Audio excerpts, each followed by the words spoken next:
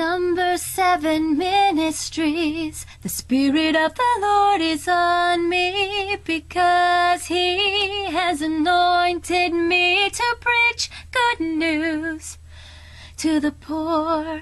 He has sent me to proclaim freedom to the prisoners and recovery of sight for the blind and to release the oppressed. Number seven ministries.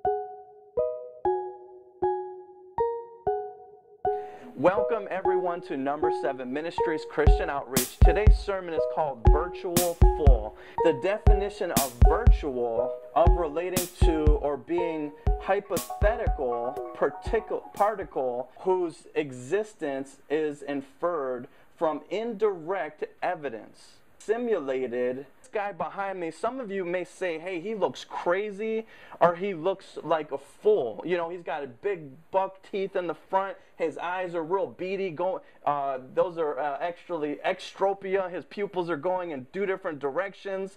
He's got a big nose, a tongue hanging out, funny looking ears, and he looks virtually like a fool. But guess what? He's not real. He's virtual.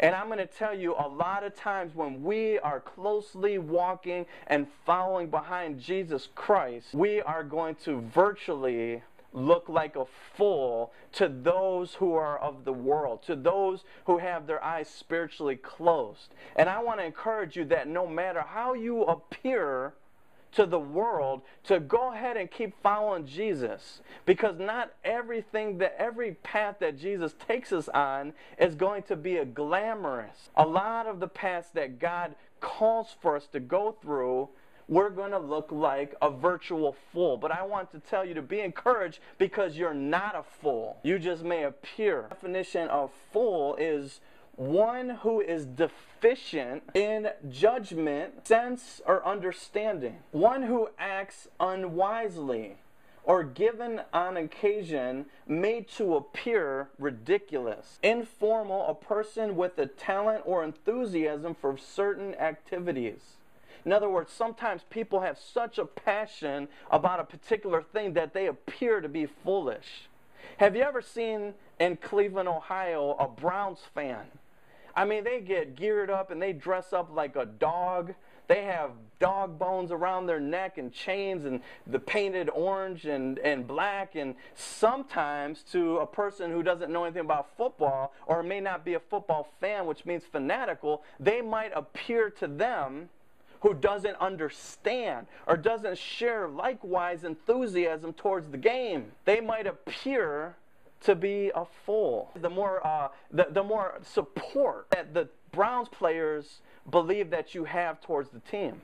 It also, in definition of a fool, is a member of a royal or noble household who provided entertainment, as with jokes or antics, a jester, one who subverts convention or varies from social conformity in order to reveal spiritual or moral truth. A holy fool. Now, this is in a secular dictionary.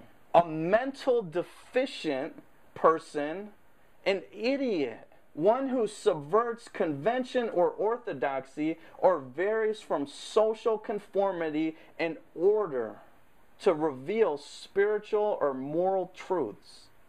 A holy fool. So I'm going to ask you to, to, to ask yourself this question Do I ever appear to be a virtual fool? Or do I always appear to look cool? Because I'm going to say that being cool or looking cool is not necessarily evil in and of itself up until the point that being cool causes you to be astray from the path that God has you to be on. And I really believe in my heart that God purposely chooses us to, to do things that look foolish to the world so that we could be humbled And in our humility, we ourselves, our flesh, decreases, which is the only way that God can increase in our life. 1 Corinthians chapter 4 verse 10 says, "We are fools for Christ's sake, but you are wise in Christ. We are weak, but you are strong. You are honorable, but we are despised." Everything in God is almost the extreme and exact opposite of the world. I remember for a good 10 years, my grandma, who's now deceased, she used to call me up on the phone and tell me that she's pregnant on April Fool's Day. And every time, she never changed the story, she never changed the approach. I mean, it was the same story every April Fool's. And guess what? She got me every time. Really? You're pregnant, Grandma? I didn't even know. Who's the man? I'm like ready to go over there and beat someone up. Who's the man? Got you pregnant. And then my then I would hear my grandma roaring laughter. Joey, how can I be pregnant? I'm 80 some years old. Got me again, Grandma.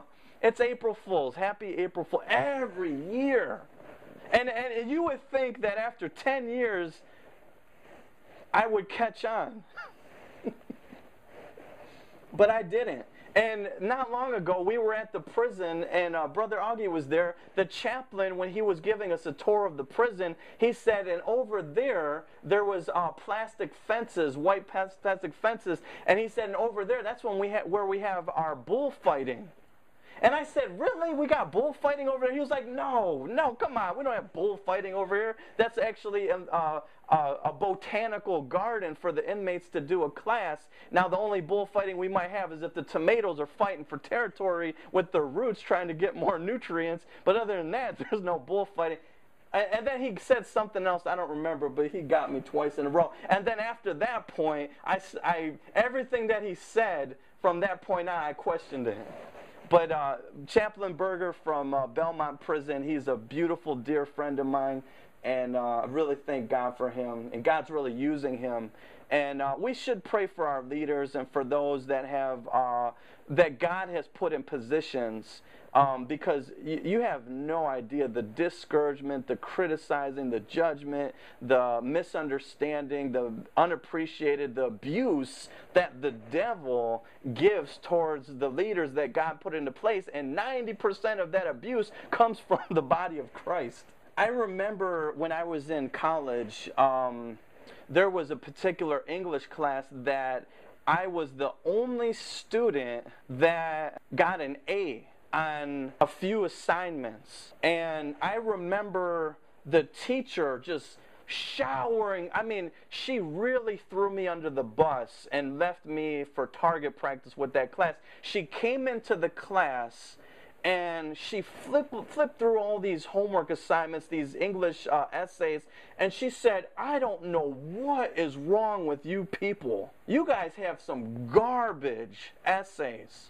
The only essay in this class that I even tolerated and enjoyed and gave an A was Joseph Collini. And I was like, no! From that point on, I knew she, I don't know what she did to me, but she really, re- I felt like Joseph from the Bible, the coat of many colors. She she positioned me in a place to be attacked. Yeah, maybe it was a compliment in her own mind, but you don't do that. You should not do that as a pastor to people in the church. You should not do that as a parent to your children. You should not never do that as a teacher to the class because you're setting you're setting attacks.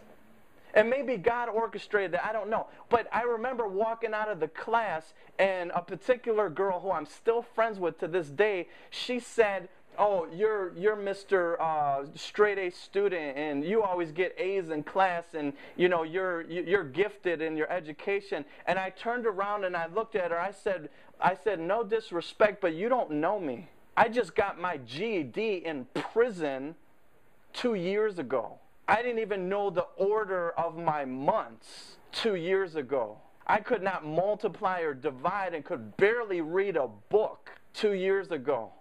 And when I said that, her jaw dropped. I said, It's only because of God that I could ever do anything good. I'm not a naturally gifted education person. In fact, when I first became a Christian, I never even read the Bible.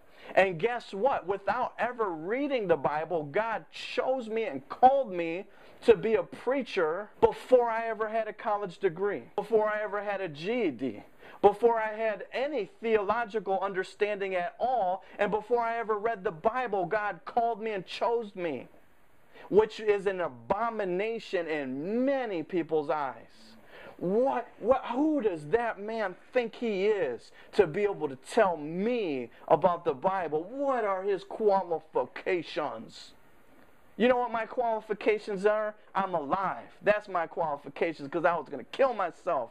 And I was only reading the Bible because I realized how messed up I was and how much I needed help. And God said, That foolish thing that the world would cast and reject, that's the person that I called. God's choices are not according to what the world considers to be a good choice. Because God said, no, they'll take all the credit, all their degrees and all their education and all their qualifications and how perfect they are and how good they are, how they've never did any sins and they've never been to jail and all these things. And God said, well, you know what? You guys will honor that person because of his outward success. And then I won't get no glory. And people will start putting credit where credit shouldn't be due. People will start putting credit in the flesh. And God said, No flesh is going to glory in my eyes. So that's why God chose us, the foolish things of the world. You may feel like you might count yourself out for multiple reasons. My speech is not of oratorical skills. I can't, I stutter, I slur. God said, Perfect. That's who I want. I'm ugly looking. God said, Perfect. I'm big and overweight. God said, perfect.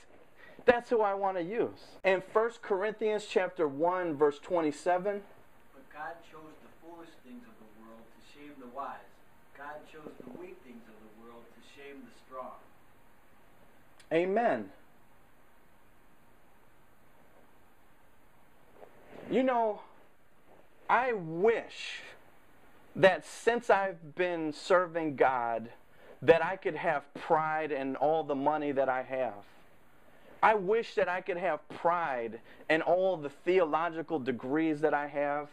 I wish I could have pride in all the thousands of members that come to my church. I wish I could have pride in those things, but I can't. I can't because I don't have those things. I wish I could have pride in myself, how great and fantastic I are. I am, but I can't. I can't. And when I first got saved, I had nothing. There was nothing in the natural that I was able to put pride in. Everything was stripped from me. The only thing that I had the possibility to put pride in was Jesus. Jesus was everything, and He still is. We have to keep that perspective that we are who we are, not because of the natural things but because of the spiritual thing, because of the Word of God, because of our relationship with Jesus, because of how much He loves us. This is where we should keep our emphasis. The foolish things to confound the wise. Do you know that my first sermon that I ever gave was in the jail when I was locked up? and I was not preaching to preach a sermon. I would, and I never wanted to preach. In fact, again, I was realizing how messed up I was in jail, having routinely messed up my life. I didn't mess up my life in a one time event, it was a routine thing. And I was sitting in the jail cell, and a bunk that came off of the wall and went down. And I was sitting up there reading my Bible, wanting to be alone, wanting to be left alone, only wanting to read the Bible for my own self because I knew I was messed up and I knew I needed help. And I loved God because He showed me how much He loved me. And one person in the jail came in my jail cell and he asked me, I remember his name, I can't share it, but I, he asked me a question about the Bible. And in my heart, I wanted him to leave my jail cell. I wanted to be alone. I wanted some alone time with me and God. I wanted him to, I didn't even want him to be in my jail cell. I almost was ready to kick him out. And then he was asking questions, and then a second person came in the jail cell, and then a third person, and then a fourth person, and then a fifth, a sixth, and a seventh person came into the jail cell, and without any effort at all on my own, I started preaching. But not I, but Him inside of me started preaching. It started coming out. And it was almost like autopilot. I wasn't using my lack of knowledge. I wasn't using my lack of degrees. I wasn't using my lack of people. I was only a vessel. And this preaching started coming out of me on autopilot, and I had an outer body experience. And while this preaching was taking place, I literally felt and saw my soul left my body, and I started looking down at myself, and I saw myself preaching to other people, and I was watching it. And then I heard this voice say, Look at what you're doing. Look at what you're doing. I've called you to do this. And I'm not sharing this story to appear to be super spiritual or anything because I still sin, I still fall short, I'm still living by God's grace alone. But I share it to say that we come to God not by our own strength or by our own might, but God. See, look at that, that first, that third word. It says, but God chose. I didn't choose this. See, because our choices are often the wrong choices. Our choices are often off of our logic, our, our wisdom, our flesh, our feelings, our desire, our desires. But God chose. But God chose. And you could almost take a black marker and scratch out that foolish and put your name in there. God chose the foolish things of the world to shame the wise. Who is the wise? Those that don't know Jesus. Those that can intellectualize and justify their sin because they're geniuses, but on their way to hell. God chose and put your name, the foolish thing. God chose it. You didn't choose. See, our, there's nothing inside of us that would want, ever want God. In our natural self, we're greedy, we're selfish, we're lustful, we're arrogant, we're prideful. Nothing in us would choose Jesus. In Genesis chapter 2, verse 5, it says, It says, And no shrub of the field had yet appeared on the earth, and no plant of the field had yet sprung up. For the Lord God had not sent rain on the earth, and there was no man to work the ground. In this Bible verse, it says that there was not yet rain. No man on earth at this point had ever seen, had ever known, have ever felt, have ever experienced, have ever tasted rain. It's never happened before. They never knew anything about it. And in spite of the lack of education, the, the lack of scientific evidence, the lack of man's experience with rain, God chose, God called Noah and his family to build an ark.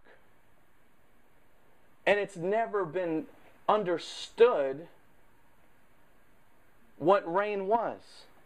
Why would you prepare for something that's never happened before or no one's ever experienced before? God chose Noah to build an ark and to prepare for something that's never happened before. Now, I'm going to ask you a question. Maybe you've never done something that's never been done before in mankind. But has God ever called you to do something that you've never done before? Because God calls us in areas to leave our comfort zone for what we do know. And this is the only way for us to grow spiritually. God will call us out of our comfort zone. God will call us out of what we know. No, no longer can we depend on our education. No longer can we depend on our family support. No longer can we depend on our money or our finances. We have to leave those things to move on with God. Noah found favor in God's eyes because he was willing to let go of all those things and obey God. and look in the eyes of people to be a virtual fool. Can you blame if if when he was building this ark and people were roaring, laughing at him, ridiculing him, rejecting him, can you blame them? For laughing. I'm not saying. I don't know whether they did. Can you blame them? If they persecuted him, if they mocked him, if they made fun of him, if they thought he was a fool, can you blame them? I'm going to tell you when you're really doing something that God called you to do, people are going to laugh at you. They're going to mock you. They're going to ridicule you. But can you blame them? Because you're doing something that appears to be virtually foolish. Because you're not walking by sight, you're walking by faith. Can you blame people in your life for laughing at you, for misunderstanding you? No, you can't. The only thing you would do is humble yourself, stay consistent on the path that God called you on. Don't waver. Don't look behind you. Don't look to your left or your right. You keep your eyes focused on Jesus and keep moving, trucking ahead. In Genesis chapter 6, verse 17 and 18, it says, I am going to bring floodwaters on the earth to destroy all life under the heavens. Every creature that has the breath of life in it. Everything on earth will perish. But I will establish my covenant with you and you will enter the ark, you and your sons and your wife and your sons' wives with you. Now, most theologians will agree on this that it was about 55 to 120 years before God sent the flood. 55, I heard as low as 55 and as high as 120 years.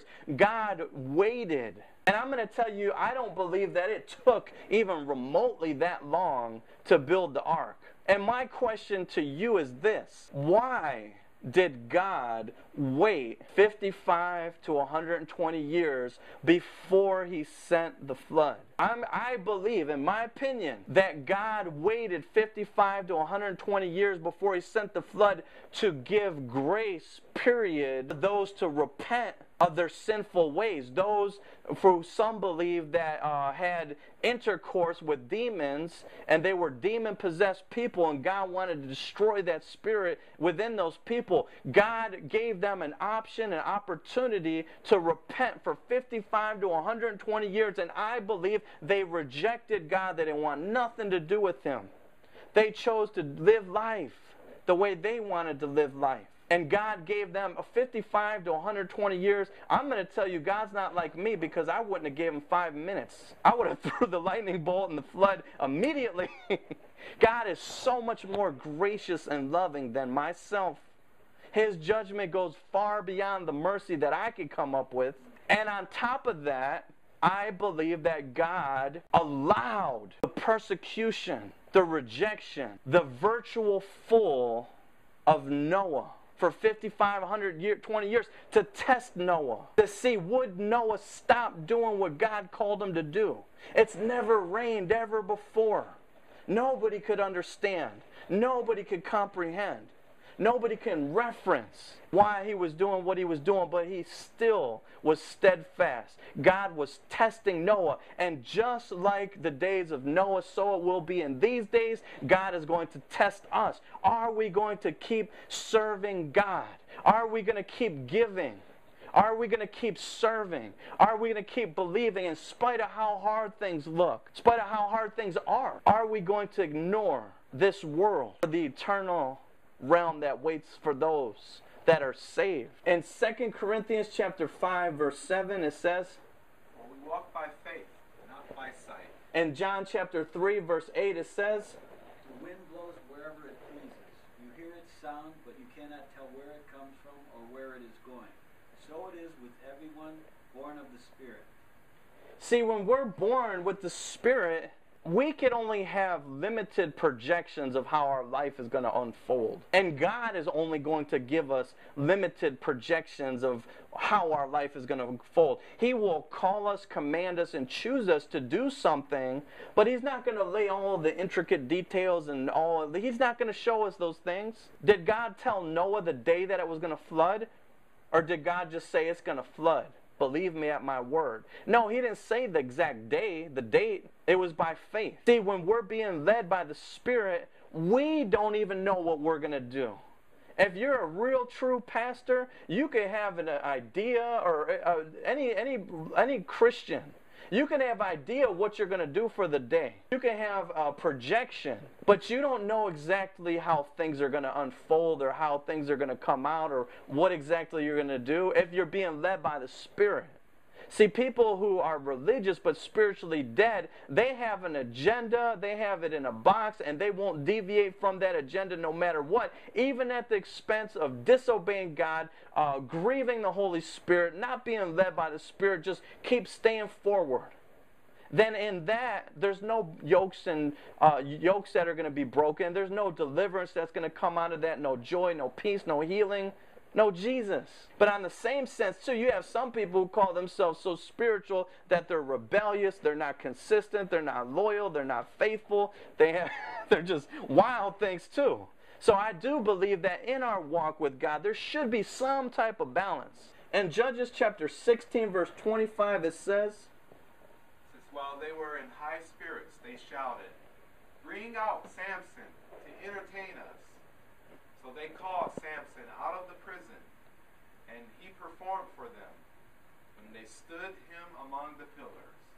Oh, yeah, Samson performed for them. You know, they gouged out Samson's eyes. And they said that, you know, we want to make sport of him. Some versions say we wanted to make sport like the Browns game. We wanted to be entertained at the expense of Samson. I'm going to tell you, when you have a gift that God gave you, there's going to be other people that are going to try to kill your gift and kill you and stop you from moving in the things that God called you, and they will try to be entertained at your expense. They will try to make sport of you.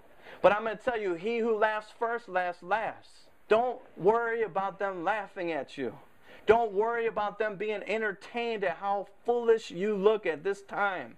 Because when it's all said and done, Samson took out more people in his death than he did in his life. All those people that were laughing, he knocked down the pillars and the roof come, come caving down. But in order for him to defeat the enemies at that point in time when they were laughing, Samson had to die to himself. And so it will be with us as Christians. We are going to have to die to ourself in order to defeat the enemies of God. In 1 Samuel chapter 17 verse 48, As the Philistines moved closer to attack him, David ran quickly towards the battle line to meet him. you know, David looked like a fool trying on Saul's armor and his weapons. It was so heavy, it looked ridiculous on him. You know, when people were laughing at who is, they, they looked down on him. They looked down on him. Who is this man that's going to defeat a giant? He's not even in the army. He has no training. He doesn't meet our criteria of the height and the weight and the muscle tone of who would be a true Israeli soldier. But yet God looked past those things and said, I chose them. Don't worry about it. I'm going to give him victory in spite of your misjudgment towards him. And you know what? When, why they were laughing, why Goliath was ridiculing. I mean, he was he was laughing. He was laughing, laughing at David.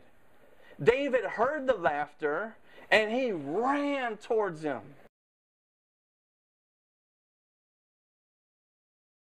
He ran, he heard the laughter of his comrades, but yet he still ran towards his enemy. I'm going to ask you the question why people are laughing. Are you going to run towards your enemy, believing God's going to give you victory? Keep running. Hebrews chapter 2, 12, verse 2. Looking unto Jesus, the author and finisher of our faith, for who for the joy that was set before him endured the cross, despising the shame, and is set down at the right hand of the throne of God. Amen. Look at this. Jesus, who is the finisher of our faith. You know what? Your husband, your wife, God bless them. The pastor, God bless them. The teacher, God bless them. The police officers, God bless them. The president, God bless them.